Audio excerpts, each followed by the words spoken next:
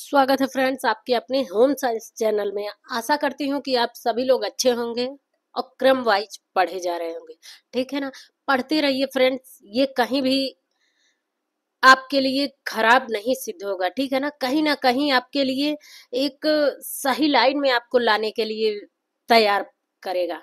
ठीक है ना? सो आइए फ्रेंड्स देखते हैं, हम लेसन पार्ट सॉरी पार्ट सात पढ़ रहे थे लेसन सेवन पढ़ रहे थे, जिसमें क्या है, पोषण और पोषण से संबंधित जानकारियाँ हैं, ठीक है ना? बहुत ही इंपॉर्टेंट चैप्टर है। आइए देखते हैं, पीछे कुछ देख लेते हैं, कि क्या पोषक तत्वों के बारे में हमने जाना। इसके साथ हमने ये भी जाना, कि क्या क्या लेना चाहिए, क्या सुविधाएँ सही होती हैं कैसे कैसे पोषक तत्वों पर अन्य अदर चीज़ों का कैसे प्रभाव पड़ता है ठीक है ना? ये नहीं है कि हम सारे पोषक तत्व तो घर के अंदर हमारे आ जा रहा है हम खा ले रहे हैं तो बस वही तक ठीक है। नहीं ना ठीक है ना? इस पे हमने देखा था कि क्या सांस्कृतिक धार्मिक सामाजिक अंतरराष्ट्रीय राष्ट्रीय व्यवस्था तक ठीक है ना? इन सब का भी क्या पड़ता है प्रभाव पड़ता है। तो आइए देखते हैं हमें कहाँ से पढ़ना है यहाँ से पढ़ना है ठीक है ना? कहाँ से? अच्छा स्वास्थ्य और पोषण कैसे सहायक तथा लाभप्रद होता है? ठीक है ना? अब देखिए, कैसे वो लाभप्रद होता है आपके लिए। आप स्वयं अपने आप को परखिए कि अगर आप, आपका अच्छा स्वास्थ्य है, अच्छी तरीके से पोषण प्राप्त कर रहे हैं तो अच्छा स्वास्थ्य है और वो किस तरह से आपके शरीर के लिए लाभप्रद है। देखिए, अपने इर्द गिर्द देखें ठीक है ना? अपने आसपास देखिए। आप देखेंगे कि अच्छे स्वास्थ्य वाले लोग प्रायः अधिक प्रसन्न प्रसन्नचित होते हैं। दूसरों से अधिक कार्य कर सकते हैं। स्वस्थ माता पिता अपने बच्चों को अच्छी तरीके से देखभाल करते हैं और स्वस्थ बच्चे प्राय खुश रहते हैं। ठीक है ना? तथा पढ़ाई में अच्छा परिणाम आता है। है ना? इस प्रकार जब कोई स्वस्थ होता है, तब वह अपने लिए अधिक रचनाशील होता है और समुदाय स्वस्थ पर गतिविधियों में सक्रिय रूप से भाग ले सकता है। अतः यह स्पष्ट है कि यदि व्यक्ति भूखा और कुपोषण का शिकार है तो उसका स्वास्थ्य अच्छा नहीं हो सकता है और वह समाज का उत्पादक, मिलनसार तथा सहयोगी सदस्य नहीं बन सकता है। वाकई नहीं बनेगा। अब मान लीजिए आप पोषक तत्वों को नहीं ले रहे हैं तरह तरह रोगों से ग्रसित है, समस्याओं से पीड़ित है तो क्या होगा? अब मान लीजिए सर में दर्द है सही तरीके से आप कार्बोहाइड्रेट का वसा का वो नहीं ले रहे हैं शरीर के अंदर मिचलीपन हमेशा आ रहा है आ, कुछ ज़्यादा ही खा ले रहे हैं तो क्या हो रहा है? ये वोमिट टाइप में आपको लग रहा है सही तरीके से नहीं ले रहे हैं तो आँखों की रोशनी वो है चलने में थोड़ी देर ही चलते हैं हंसना बोलना बैठना अगर थोड़ी देर करते हैं तो क्या है आपको थकान महसूस होता है? तो आप क्या इसके बाद किसी कार्य को कर सकते हैं? भले ही स्वयं देखिए या तो अपने बच्चों को लेके किसी कार्य को करने के लिए या अपने रोज़मर्रा के कार्यों को दैनिक जीवन के कार्यों को करने में आप प्रसन्नचित रहेंगे नहीं ना? और यदि कोई प्र, कोई व्यक्ति है वो देखिए स्वस्थ है, लंबा चौड़ा है तो जो भी आपकी हाइट है, वो हाइट के अकॉर्डिंग वेट के अकॉर्डिंग अगर पोषक तत्वों को आप ले रहे हैं ना तो हमेशा आप खुश रहेंगे। जब हमारा शरीर खुश रहेगा ना हेल्दी रहेगा ना तो हम खुश खुश महसूस भी करेंगे। हैप्पी रहेंगे बेटे, हमेशा। ठीक है ना? तो ये महसूस करने की बातों को बता रहा है कि अगर आप पोषक तत्वों को लेंगे तो आप ऐसे अपने आप को महसूस करेंगे ऐसे फील करेंगे ऐसे अपने बच्चों का भी देखभाल करेंगे अपनी आर्थिक स्थिति का भी देखभाल करेंगे ठीक है ना? और उनके माता पिता जब सही रहेंगे भाई स्वयं भी पोषण वो ले रहे हैं वही पोषक तत्व अपने बच्चों को भी दे रहे हैं तो बच्चे भी क्या कह, कहा जा रहा है कि पढ़ाई में मन लगेगा अच्छे परिणाम आएँगे वो खुश रहेंगे क्यों ना खुश रहेंगे? खुश रहेंगे।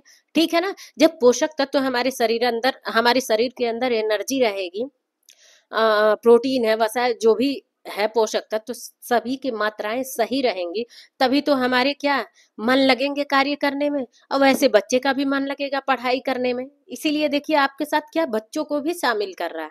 ठीक है ना? बच्चे जब तंदुरुस्त नहीं रहेंगे हेल्दी नहीं रहेंगे तो कैसे आधे घंटे बैठेंगे, फिर लगेंगे सोने, उन्हें जमाई आने लगेगी। वो सोने लगेंगे, भागने लगेंगे इधर उधर ठीक है ना? थकान से सो जाएँगे तो सुबह को उठेंगे तो वो क्या एनर्जी फुल नहीं महसूस करेंगे, ठीक है ना? तो सबका आशय किससे है? पोषक तत्वों से। और इसी की कमी हो रही है कि आजकल बच्चों में भी क्या होता है?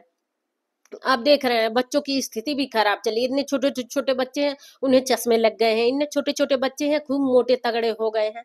तो ये मोटापा अच्छी थोड़ी ना है, बिल्कुल नहीं है, ठीक है ना? तो सही वे में पोषक तत्वों को लीजिए और हेल्दी रहिए स्वस्थ रहिए और प्रसन्नचित रहिए ठीक है ना? प्रसन्नचित रहिए। तभी आप अपने कार्यों को दैनिक जीवन में प्रतिदिन करते करते आगे बढ़ेंगे ठीक है? फिर चाहे पढ़ाई को ही लेके अब मान लीजिए आप पढ़ रही हैं अगर घर की महिला है आप कार्य करने के साथ भी पढ़ाई का भी काम कर रही हैं तो आप एक बेटर पो, पोषक तत्व लेंगे तभी तो अन्य कामों को भी करेंगे और पढ़ेंगे भी। देखिए, शारीरिक और मानसिक दोनों क्रियाओं को आप कर रही हैं, ठीक है ना? सो टाइम से अपने आप का भी ध्यान दीजिए, है ना? ये नहीं कि हाँ सबको खाना दे दिए, सबको, सबका लंच दे दिए, सबका नाश्ता लगा दिए हम सबको ही खा लिया, पी लिया। अच्छा चलो हम पढ़ने बैठ जाए। आप भी थोड़ा खाइए, फिर पढ़ने बैठिए। आप स्वयं अपना भी ध्यान दीजिए, ठीक है ना? सो आइए, आगे देखते हैं। सब मिला के यही इन्हीं बातों को यहाँ मेंशन किया है कि, पोषक तत्वों को आप सही मात्रा में लेंगे तो खुद भी खुश रहेंगे आपके बच्चे भी और आपके परिवार के सारे सदस्य भी। ठीक है ना? आइए देखते सारणी क्या बताता है? सारणी है इष्टतम पोषणात्मक स्तर महत्वपूर्ण है क्योंकि यह अब देखिए इष्टतम पोषणात्मक इष्टतम का मतलब होता है ज़रूरी पोषक तत्व। क्या है? ज़रूरी पोषक तत्व, ठीक है ना? अब ये नहीं कि कोई आप थाली में खाना लेके बैठ गई, बस पेट भरने के लिए। खूब ढेर सारा चावल खा लीजिए, खूब ढेर सारा रोटी खा लीजिए, ना उसमें दाल मेंशन है, ना कोई फली वाले आइटम है, ना कोई ऐसे प्रोटीन वाले तत्व है, आलू की सब्ज़ी ले लीजिए, चावल रोटी खा के दो दिन, चार दिन, पाँच दिन, ऐसे ही आपको अच्छा लगता है तो खा लीजिए। तो इसे क्या कहेंगे हम कि बस पेट भरने वाला भोजन मत लीजिए, इष्टतम पोषण लीजिए कि उसमें आवश्यक, ज़रूरी पोषक तत्व, पोषणात्मक तत्व उसमें शामिल हो गए ठीक है ना? चलिए एक दिन आप ऐसे खाएँ, लेकिन क्या करिए उसमें दाल मेंशन करिए, फली वाली चीज़ें, जैसे राजमा है ये क्या हो गया, मटर हो गया ये, देखते हैं ना सफ़ेद चना आता है लाल चना काला चना तो ये सब क्या है? फली है तरह तरह की दालें हैं मूंग की दाली अरहर के चना के मसूर की बहुत सारी दालें हैं। तो इन सबों को मेंशन करिए सैलेड उसमें मेंशन करिए ठीक है ना? उसके बाद आप एक फल ज़रूर लीजिए कोई भी फल लीजिए एक फल ले लीजिए ठीक है ना? तो सरकरा से संबंधित कोई चीज़ें दिन भर में एक चीज़ ले लीजिए। तो ये सब क्या इष्टतम पोषणात्मक तत्व इसे कहा जाएगा कुल मिला के। उसी को कहा जा रहा है कि ये महत्वपूर्ण क्यों है, आइए हम देखते हैं। अब पहला क्या है? शरीर का वज़न बनाए रखता है। ठीक है ना? आप सही मात्रा में पोषणात्मक अब ये नहीं कि बहुत ज़्यादा आप क्या कर रही हैं, चावल ही ले लीजिए। बहुत ज़्यादा आलू की सब्ज़ियाँ खाइए तो क्या है कार्बोहाइड्रेट आप ज़्यादा ले रही हैं तो वज़न क्या होगा? बैलेंस सही नहीं रहेगा। तो उसी को कह रहा इसे भी सही मात्रा में, इसीलिए तो हमने ऊपर पहले क्या किया था? पिरामिड पढ़ लिया था, ठीक है ना? आवश्यक पोषक तत्वों के पिरामिड हम पढ़ लिए थे कि हमें क्या चीज़ ज़्यादा मात्रा में लेना और क्या कम लेना है, ठीक है ना? पेशी की सुदृढ़ता बनाए रहेगी। भाई, सही वे में आप पोषक तत्वों को लेंगे तो देखते हैं ना, नए सेल्स बनते हैं, नए कोशिकाएँ बनती हैं। जब सही मात्रा में हम क्या लेते हैं, प्रोटीन लेते हैं, बहुत ज़्यादा भी कोई चीज़ क्या बनता है आपके शरीर के अंदर? तो खराब काम करता है। ठीक है ना? तो उसे कहा जाता है। अब देखिए, पेशियाँ सुदृढ़ रहेंगी तो आप मज़बूत रहेंगे हृष्ट पुरुष रहेंगे, कार्य करने की शक्ति बढ़ेगी। ठीक है ना? वो जब सुदृढ़ रहेंगी तो। अगला देखते हैं। असक्तता के जोखिम को कम करना। असक्तता के मतलब क्या होता है कि मतलब आपके अंदर जब इन चीज़ों को मेंशन करेंगे ना, इष्टतम पोषक तत्व तो क्या होगा? किसी कार्य को करने में आपका मन लगेगा। ठीक है ना? किसी भी कार्य को करने में मन लगेगा, रुचिपूर्ण आप अपने आप को महसूस करेंगे। कोई भी कार्य कर रहे हैं तो उसमें आपको परेशानी नहीं महसूस होगी, ठीक है ना?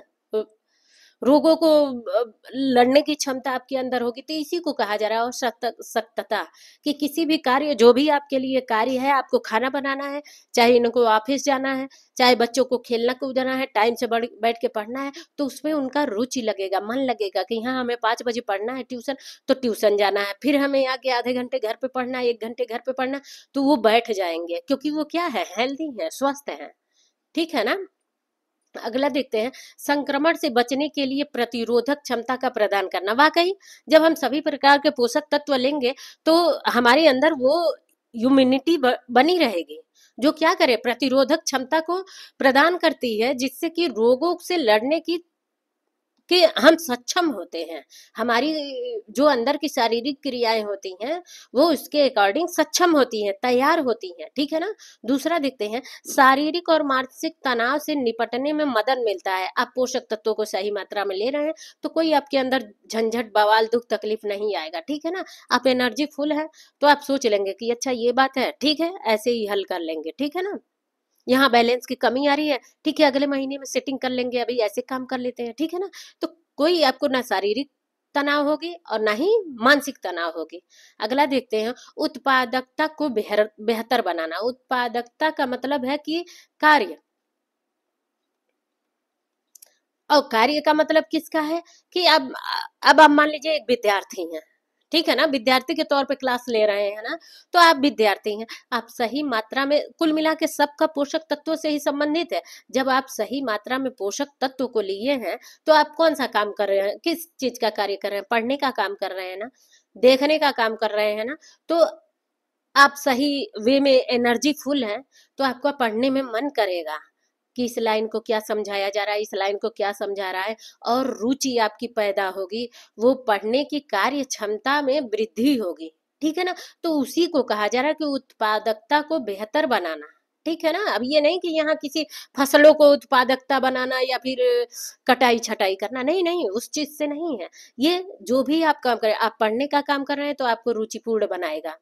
इसकी उत्पादकता आपको करेगा। मम्मी खाना बनाने का काम कर रही हैं, वो हेल्दी हैं, स्वस्थ हैं तो वो तरह तरह का व्यंजन बना देंगी एक ही दिन में। देखती है ना, दो किस्म की सब्ज़ी बना देती हैं, तीन किस्म की सब्ज़ी बना देती हैं तरह तरह की सब्ज़ियाँ बना देती हैं, और भी चीज़ें उसमें मेंशन कर देती है। अगर किसी को तकलीफ़ है तो चावल, दाल, रोटी, सब्ज़ी बना के रख दिया, हो गया, बात खत्म।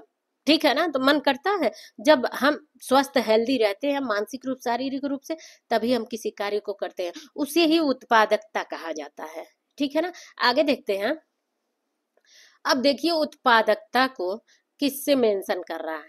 ठीक है ना? उत्पादकता अर्थात कोई भी कार्य आपका फिर चाहे पढ़ने का काम हो के बच्चों के आ, आपका या फिर कोई घर का काम हो के आर्थिक स्थिति को लेके पापा का ऑफ़िस का काम हो कि किसी भी कार्य में दौड़ दौड़ के बस के चढ़ना, आप देखिए हाँ कभी कभी हो जाता है किशोर अवस्था में कि दौड़ के बस पकड़ना पड़ता है। होता ना? तो वो भी देखते हैं कोई कोई हँसते हुए, दौड़ते हुए बस को पीटते हुए पकड़ता है। तो वो एनर्जी फुल है, तभी तो दौड़ते हुए बस को पकड़ते हैं, पीटते हुए आखिरकार वो देखते दौड़ते दौड़ते पकड़ ही लेते हैं, दूसरे भी देख के उसमें खुश होते हैं, दौड़ के पकड़ लेते हैं तो एनर्जी फुल है, वो पोषणात्मक तत्व उनके शरीर के अंदर भरपूर है, ठीक है ना? और कोई लुंज पुंज रहे तो बस को दौड़ के पकड़ेगा, जब तक बस दो मिनट के लिए रुकेगा नहीं, वो चढ़ेंगे नहीं उस पर ठीक है ना? तो उससे संबंधित है ये उत्पादकता। अब देखिए, ये उत्पादकता कैसे आपका सही रहता है? जब सही मात्रा में आप क्या लेंगे? आहार लेंगे, ठीक है ना? इष्टतम पोषक तत्व लेंगे। अब ये नहीं कि बस पेट भरने के लिए जो भी मन किया वही खा लिए पेट भर गया। नहीं, उससे नहीं मतलब होता है। इष्टतम पोषक तत्व माने ज़रूरी पोषक तत्व। हमने आपको बताया। ज़रूरी पोषक तत्व, अर्थात उसमें पोषक तत्वों की मात्रा रहे, ठीक है ना? अगला देखते अच्छा स्वास्थ्य। जब हम अच्छी तरीके से पोषक तत्व लेंगे तो हमारे कार्य में क्या करेगा? अच्छा स्वास्थ्य रहेगा तो हमारे कार्य करने में, के तरीके में और सही रहेगा। ठीक है ना? तो अच्छा स्वास्थ्य, स्वास्थ्यता और स्वास्थ्य। ठीक है ना? दोनों सही रहेगा तो हमारा कार्य सही। सेवाओं, सुविधाओं तक पहुँचना, ये भी सही होगा। शिक्षा और कौशल, हमारी शिक्षा मतलब पढ़ने में हमारा रुचि लगेगा। और हमारे कौशल, अर्थात हम अभी एक चैप्टर ये पढ़ लिए हैं तो हमारा कौशल है है, हमारे अंदर इतना सामर्थ्य है कि ये देख लिए तो चलो दूसरे सब्जेक्ट में इतनी तैयारी ये भी कर लेते हैं। दस क्वेश्चन ही देख लेते हैं, पाँच क्वेश्चन ही देख लेते हैं, ये कौशल।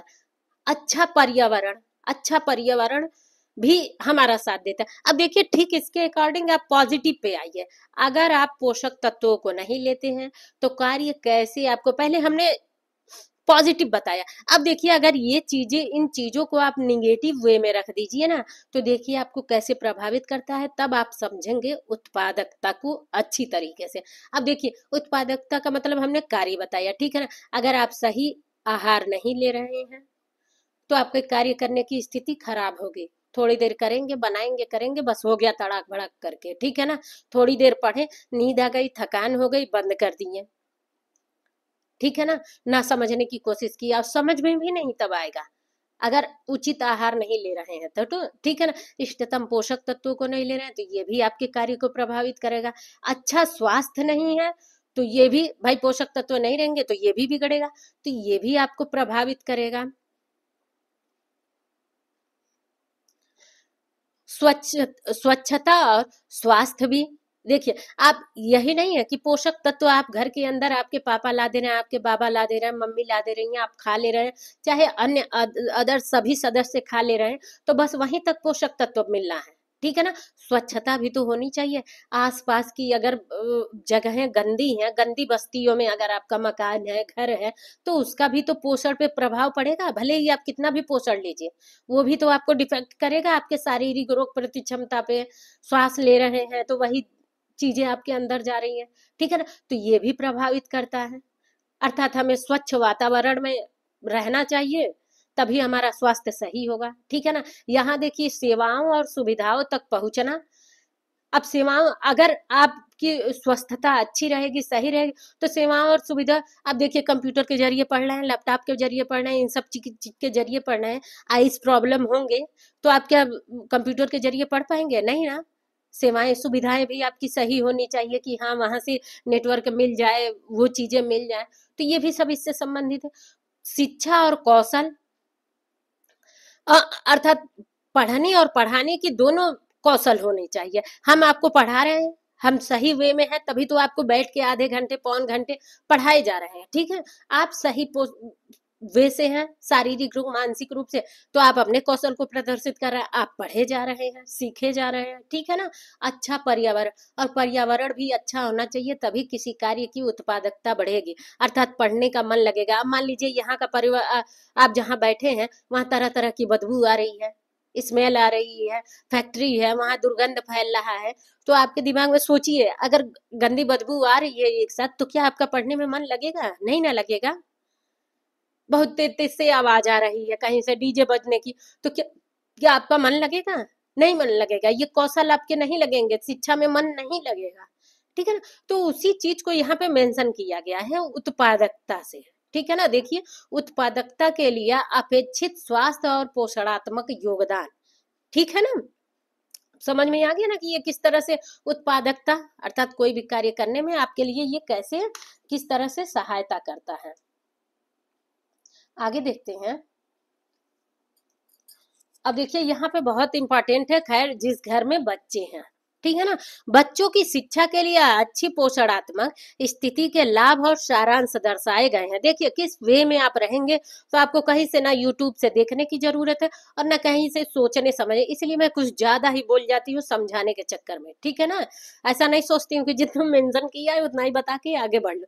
अब देखिए घर घर में मैं देखती हूँ कि बच्चों को लेकर परेशान है तो आप क्या ऐसे अपने बच्चों का ध्यान रखिए अच्छे पोषणात्मक, सकारात्मक प्रभाव देती हैं, अर्थात पॉजिटिव प्रभाव देंगे।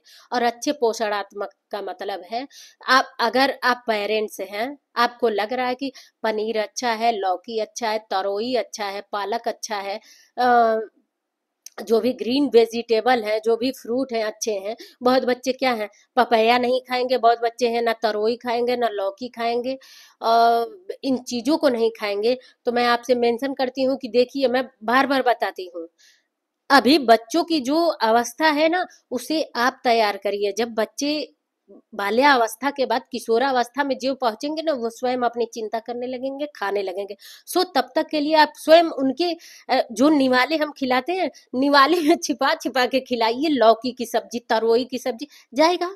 बच्चे के शरीर के अंदर जाएगा तो पोषक तत्व ही तो देगा। वो तो ये नहीं कहेगा कि माँ निवाले में छिपा के धीरे से खिलाई। आप देखती है ना कि यशोदा माँ भी क्या करती हैं? ऐसे निवाला ले लेके दौड़ती थी, कान्हा जी के पीछे। तो क्यों दौड़े? उससे भी तो हमें सीख मिलता है। ठीक है ना? तो आप भी अपने बच्चों को मैं आपसे ज़रूर कहती हूँ, मेरे मेरे बात पे अमल करके देखिए कि अगर आप एक महीने अपने बच्चे का ऐसे ध्यान दीजिए ना तो देखिए आपके बच्चे में बहुत अंतर आएगा। ठीक है ना? शारीरिक तौर पे। वो हेल्दी हो जाएगा, शारीरिक, मानसिक जो भी लीजिए। और देखिए उन्हीं चीज़ों को बताया जा रहा है, बच्चों को लेके इन चीज़ों को बताया जा रहा है। ठीक है ना? तो पढ़ाई के साथ कुछ हम अपनी वे में भी सीखें। इस चैप्टर का मतलब यही है। अच्छे पोषण को सकारात्मक प्रभाव देखिए क्या सकारात्मक प्रभाव पड़ता है। यदि आप अपने बच्चे को इस प्रकार से खिला पिला रहे हैं, ठीक है ना? दिन में आप पानी का ध्यान दे रहे हैं कि कितने गिलास पानी पी ले रहा है। बार बार बोल के दे दीजिए, एक गिलास पानी पकड़ाइए, आधे गिलास तो पिएगा। वैसे तो बच्चे सारे दिन खेलते रहते हैं। दूध दिन में दो गिलास तो कम से कम बच्चे दूध पी ले, ठीक है ना? तो इन चीज़ों को आप थोड़ा बहुत खिलाइए। अभी देखिए, महीने भर बस आप ऐसे करिए और क्या है ही ज़िंदगी में, ठीक है ना? हम प्यार से रहें, अच्छे से रहें, स्वस्थ रहें हेल्दी रहें, बस और कुछ नहीं चाहिए। तो आगे बढ़ते हैं, देखिए सकारात्मक प्रभाव क्या पड़ता है? अभी यहाँ देखते हैं।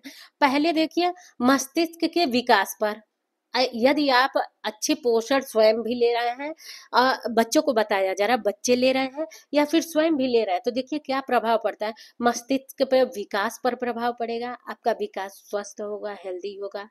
आप किसी तरह का सोच विचार वो नेगेटिव सोच नहीं रखेंगे, आपकी सोचने की क्षमता बढ़ेगी। उससे क्या होता है कि जो संज्ञानात्मक विकास को प्रभावित करता है, ठीक है ना? संज्ञानात्मक विकास को प्रभावित करता है, सही वे में अपने बच्चे को पोषण देंगे ना तो स्मृति बढ़ेगी। देखिए, स्मृति बढ़ेगी, ठीक है ना? उसको लर्न करने की वो जो पावर होता है ना, वो ज़्यादा उसके अंदर होगा। सही बात है? बच्चा एनर्जी फुल रहेगा हर तरीके से तो आपको बार बार किसी चीज़ को रिपीट नहीं करवाना पड़ेगा, याद नहीं करवाना पड़ेगा, दिमागी तौर से उसकी क्षमता क्या होगी? तीव्र होगी, ठीक है ना? ध्यान देने की अवधि है, यही देखिए देखिए मैं ऊपर ही बता दी ये ध्यान देने की अवधि है और क्या बढ़ेगा? एकाग्रता बढ़ेगा बच्चों में, स्मृति की क्षमता बढ़ेगी लर्निंग की क्षमता बढ़ेगी, ठीक है ना? ये बात विमर्श करने की क्षमता बढ़ेगी, पढ़ाई में उसका लगन क्षमता बढ़ेगा, ठीक है ना? एकाग्रता बढ़ेगा, ठीक है ना? अब ऐसा वो कोई बदमाशी का काम नहीं करेगा, जो जो आप एक बार कह देंगे, अगर वो एनर्जी पर, आधे घंटे बैठने कहेंगी तो आधे घंटे बैठ के पढ़ेगा तो उसी चीज़ों को बताया जा रहा है, ठीक है ना? स्वस्थ अगर पोषण लेंगे तो। दूसरा देखते हैं कि स्वास्थ्य की सामान्य स्थिति देखिए, स्वास्थ्य की सामान्य स्थिति, इससे क्या प्रभाव पड़ता है? पर्यावरण पर्यावरण के साथ सक्रिय रूप से पारस्परिक क्रिया, इससे अनुपस्थिति में कमी और फेल होने तथा स्कूल की पढ़ाई बीच में छोड़ देने का जोखिम कम होता है। भाई, क्यों नहीं कम होगा? जब हमारा बच्चा, आखिर बच्चे क्यों स्कूल क्लास लेने से रुक जाते हैं, छोड़ देते हैं, पढ़, भाई क्लास जाएँगे नहीं तो पढ़ाई छूटेगी। बीच में पढ़ाई छूटेगी, बीच में जब पढ़ाई छूटेगी तो उन्हें उन चीज़ों के बारे में जानकारी नहीं होगी। जानकारी नहीं होगी तो आगे चल के एग्ज़ाम आएँगे एग्ज़ाम आएँगे तो उसमें जब जानकारी ही नहीं है तो बच्चा लिखेगा, पढ़ेगा क्या? तो इन चीज़ों का जोखिम ही होगा। और जोखिम क्यों नहीं होगा? इस बात को बता रहा है कि आप सही वे में पोषण लीजिए। और पोषण लेंगे तो किसी प्रकार के रोगों से ग्रसित नहीं होंगे। यहाँ तक कि फीवर भी नहीं होगा आपके बच्चे को। बच्चा हेल्दी है, थोड़ी बहुत इधर उधर किसी बच्चे के बगल में बैठा सर्दी जुकाम है तो उसे कर लेगा। बच्चे की इम्यूनिटी पावर सही है तो उसे खत्म कर लेगा। आप नहवाएँ धोआएँ साफ़ तरीके से रहे, फिर पोषण की वही बैलेंस दिए तो बच्चा किसी प्रकार से ग्रसित नहीं होगा। और जब कोई रोग ही नहीं होगा आमतौर पे क्या होता है, ये फीवर ही होता है तो इसीलिए हम इसका एग्ज़ाम्पल दे रहे हैं। ये होगा ये होगा ही नहीं तो बच्चा स्कूल प्रतिदिन जाएगा प्रतिदिन जाएगा तो पढ़ाई के बीच में कोई गैपिंग ही नहीं होगा, कोई छोड़ने का बात ही नहीं आएगा, और छोड़ेगा नहीं तो सब चीज़ों को अपने अंदर क्या करता जाएगा, स्मृति करता जाएगा, एकाग्रता उसके अंदर आएगी, ठीक है ना, वो लर्न करेगा, याद करेगा, लिखेगा, पढ़ेगा तो क्या होगा, आगे बढ़ेगा ही बढ़ेगा, आपको कोई चिंता नहीं, आप आप इस पे अमल करके देखिए, आपका बच्चा स्वयं फिर अपने आप पे करने लगेगा। रोज सिलेबस लगाएगा, रोज जाएगा, रोज आएगा और उसका रुचि भी पैदा होगा। क्या होगा?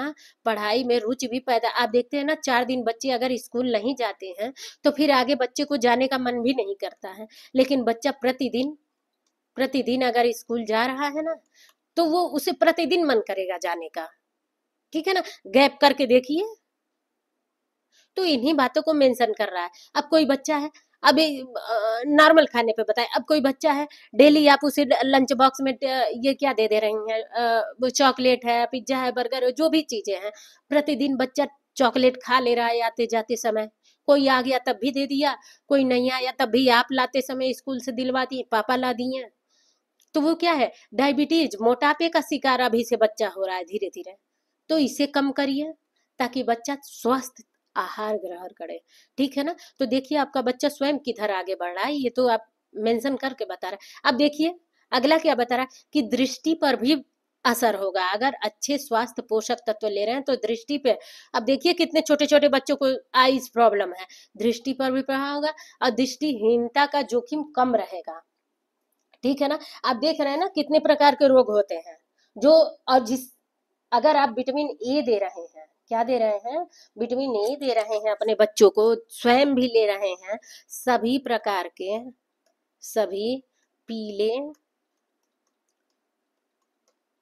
लाल और हरे। हरा तो थोड़ा कम है, लेकिन पीला और लाल तो जितने भी फ्रूट वेजिटेबल है, ठीक है ना? पपाया हो गया पंपकीन हो गया और एप्पल हो गया, ये सब जितने लाल कलर के हैं, रेड कलर के, पीले कलर के हैं। इसके साथ आप देखिए लौकी है, लौकी बेस्ट है आईज अगर ऑपरेशन हो जाता है ना तो डॉक्टर लौकी प्रतिदिन लेने को कहता है। आप तरोई भी लीजिए, लौकी लीजिए, लौकी बेस्ट आता है।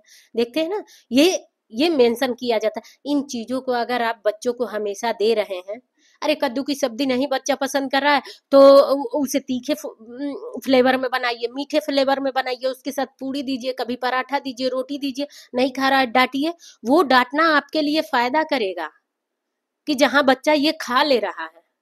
ठीक है ना? फालतू का ना डांटिए, लेकिन उस जगह पे डांटिए कि जहाँ बच्चे के लिए फ़ायदेमंद हो के एक बार नहीं, चार बार डांटिए, बच्चे को खाने की आदत पड़ेगी, क्यों नहीं पड़ेगी? ठीक है ना? तो उस बात को बताया जा रहा है कि दृष्टिहीनता की जोखिम कम रहेगी, ठीक है ना? जो कि हाँ देखिए कितने प्रकार के ए विटामिन ए को क्या कहा जाता है? कि प्रति शुष्क नेत्र विटामिन कहते हैं। इसे यही कहते ही है, प्रति नेत्र विटामिन ठीक है ना? और ये टोटल विटामिन ए में मिलता है, जिसमें क्या लाल और पीले सब्ज़ी जो भी देखिए उठा के ले आइए, खाइए, ठीक है ना? और इसके अलावा लौकी और तरोई। ठीक है ना? तो आइए देखते हैं। और देखिए नाइट ब्लेंडेंस है, xerophthalmia Bitot's spot conjunctiva corneal xerosis keratomalacia ये सब क्या है? कितने तरह के वो धीरे धीरे स्टेप वाइज दृष्टिहीनता पर ले जाता है।